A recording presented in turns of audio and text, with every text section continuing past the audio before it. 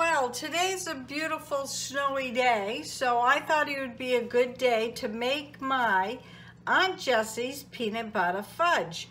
And this makes a nice holiday gift. You can put it in a bag or box it real pretty, or put it in aluminum foil, or any sort of decorations you want to come up with. I'm not sure how I'm going to do mine, or I may just save it here. So let me get started by reading the ingredients. Three cups of white sugar, three quarter cups of butter, which equals one stick plus four tablespoons, two third cups of evaporated milk, one cup of peanut butter, one and seven ounces of marshmallow, which I use half of this marshmallow container. This will give me two batches of fudge and a teaspoon of vanilla. You want to mix the sugar, the butter, and the milk until it reaches a full boil. I've already got the sugar and the butter in here. And then you want to reduce it to medium heat for five minutes.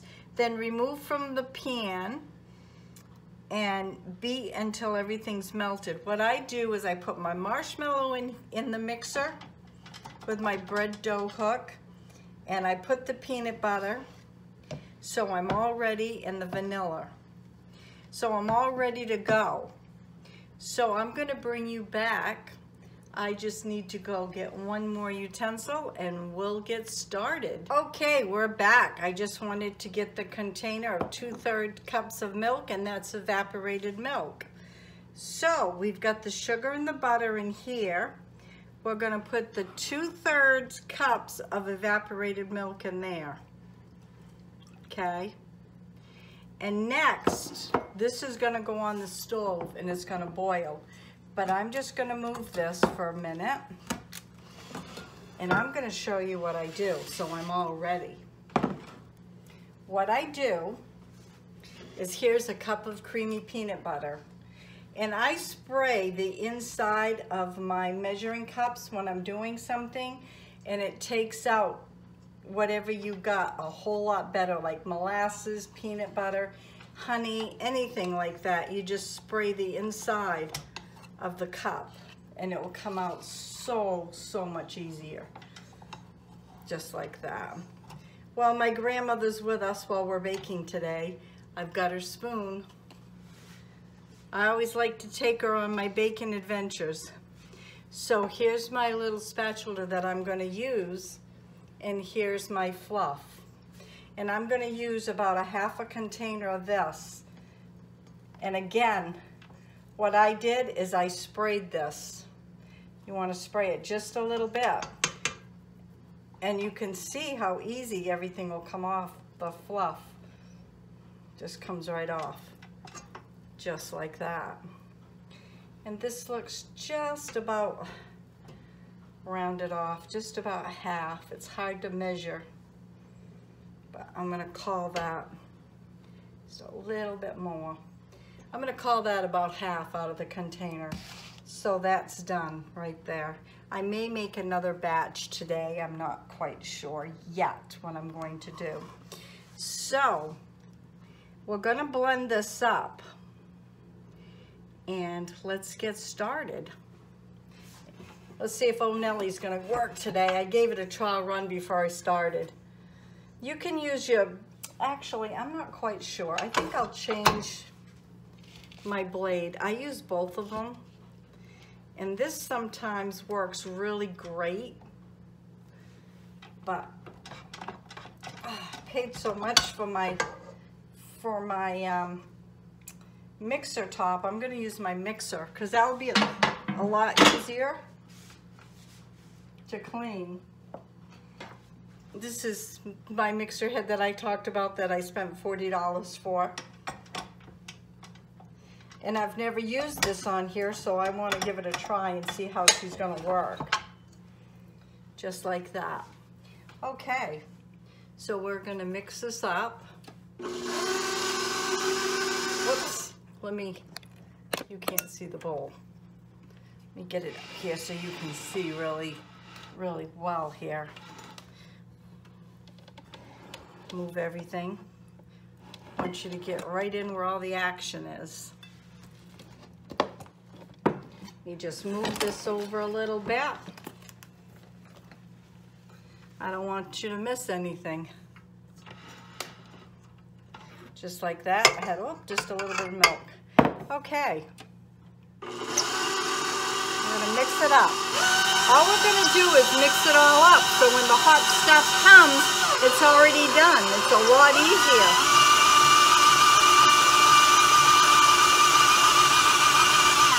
We're gonna mix it up just like that. I'm, that's all done. Now I'm gonna take this over to the stove and I'm gonna start boiling this. And when I get to the boiling point, I'll bring you back. Okay, this is mixture's getting ready to come to a full boil here. And once it comes to a full boil, I'm gonna turn it down for a medium boil for five minutes. I use the small potato masher, that's what I use. You can see the bubbles coming around. This smells really good. All this sugar melting in with the butter. Just like this.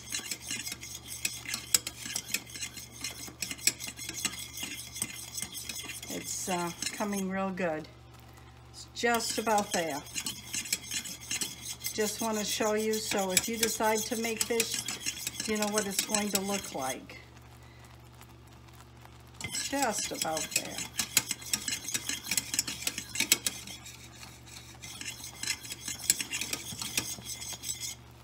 there we got her at a boil and we're gonna get a good boil here we're gonna turn it down to a medium boil for five minutes. So I'm gonna bring this, my heat down to temp for five minutes. I'm gonna set my timer and I'll bring you back and show you the next step. Hey, I'm back. Want to show you, and there's the mixture right there, just got done.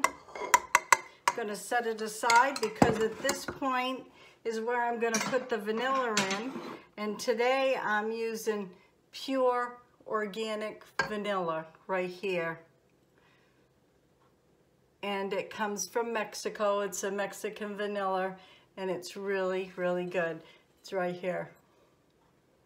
Okay, so we're gonna put a teaspoon of this in right now. Just like that.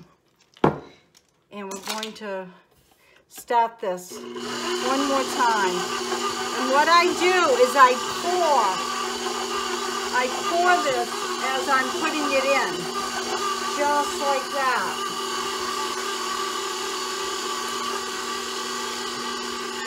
Just like that. Gonna get my spatula. I have just a little bit. I want you to be able to see I have a little bit more to get in. The pan is very warm. Get this all in so it's nice and creamy. Okay, that's all in. So what I'm going to do is I'm going to spray my spatula that I'm going to use. Wipe it off here going to give it a light spray. Okay, this here is mixed really well. Look at that. Look how creamy that is. It's just beautiful. Let me bring this down. One thing, this beater is going to be good to um, take off and clean. Now, if Ray was here, I would give him the beater. But that's one good thing about this. See how creamy this is? And this sets up just beautiful. You want to kind of hurry up because it does kind of set quickly. You don't want to be fooling around too long. Yeah, just like that. Get everything out of the way. Need to take this off here. like I said, I'm having all, all sorts of issues with this thing. It's all the way down. There. Then I want to pour it. see if I can push this over. Again, you want to work quickly. I've got the pan here sprayed and then I put parchment paper in. Do you want to pour put it in real quick because it doesn't take long. It starts sitting right up. Oh boy, does this smell good. Ray is going to be happy. He's been looking forward to this and his boss loves my fudge. So I'll probably end up making a batch for him but probably later on in the week. I don't feel like doing it. I've been up for 24 hours. I had to take my son to the airport in a terrible storm this morning and it was, uh, I started at 2 o'clock and I didn't get home till 6.30. It was a four hour trip just in travel. You can see how quickly it's gonna set up, but I'm just gonna go like this. Just like this. Oh, there's some fluff that didn't mix in. It's okay, we'll mix it like that. Look at this. It's already hardening. It's gonna make beautiful fudge. Just pat it down like this.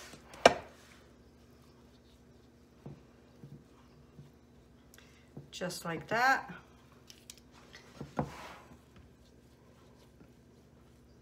Sometimes I take uh, wax paper and I'll push it down. I'll show you what I mean here. My drawer of papers in here. I just take a piece of wax paper, fold it up like this, and just lightly, lightly push it. But it's actually setting up and forming really nice. I don't really have to do that.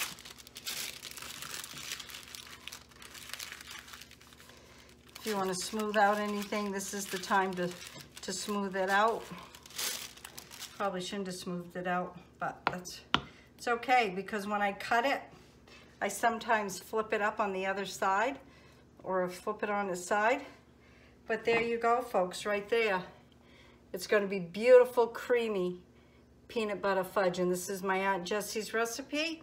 It'll be in the description box below and I'll bring you back as soon as it's set up and I cut it and I'll show you how I'm gonna do it. We'll be back.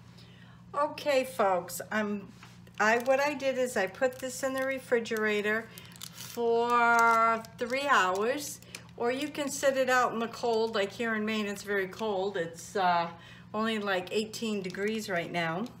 What I did is I sprayed the inside of this 9 by 9 and then I put parchment paper in. And what you do, see it lifts right out, just like that. The pan was sprayed, and it had the parchment paper, just like this. You can turn it over, whichever side you want to use, that side of this side, and I think I'll use this side. Looks pretty and you can use a big knife and just cut or you can use a pizza cutter and cut and I will show you both. Try to get my hand out of the way. Want to make sure. I'll show you one of each. Okay, that's the cut with a knife. I'm not always straight with a pizza cutter, but it works pretty slick, just like this. So in case you've never used one before, there you go, right there. I have a plate here with my little gingerbread, and I have some little like tea muffin papers, and I'm gonna use, I'm gonna alternate red and green and I'll just do a few up and you can see what they look like. And I won't bore you with this. Just to give you an idea, I'll do four of them.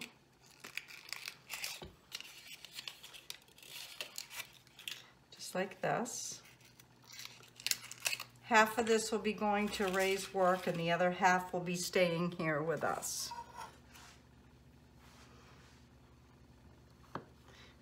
I'm used to cutting the whole thing up and then dividing it, so it's a little, little hard doing it this way, but yeah, I can do it. I can do anything. There's two. And there's two on the end, but I'll get two more over here. Be a lot easier if I do it like this. There. It's easier when you cut it all up. And then I have my little plate of uh, my little um, pie plate snowman. And we're just gonna stick it in just like that. And go down.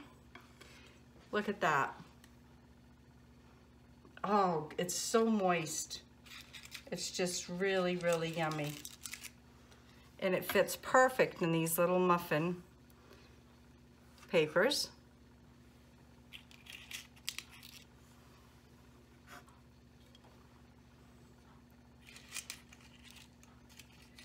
And there you have it right there. And I'll bring you back when it's all. Okay, folks, this is what I got out of the fudge right here. I got two nice plates. Now, just look how creamy that looks. This is really delicious. If you use this recipe, you will thank me because it is so good. I just want to move these up a little bit.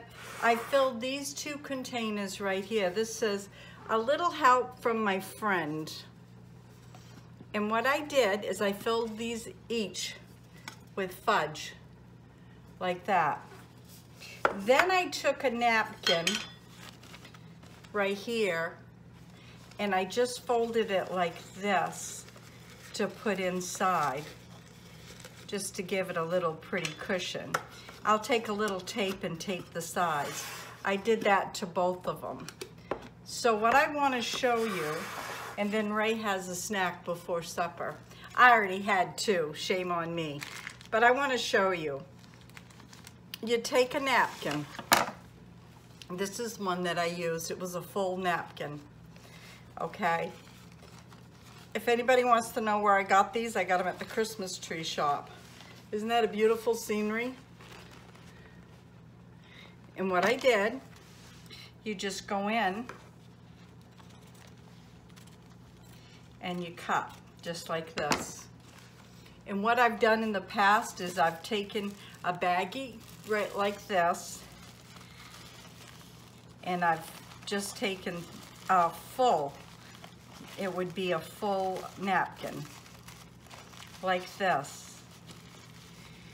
And then you put a bow around it and you just give them out to your little, to your friends or my aunt's in the nursing, um, like assistant Lisbon nursing home and just to give give a little something to the folks.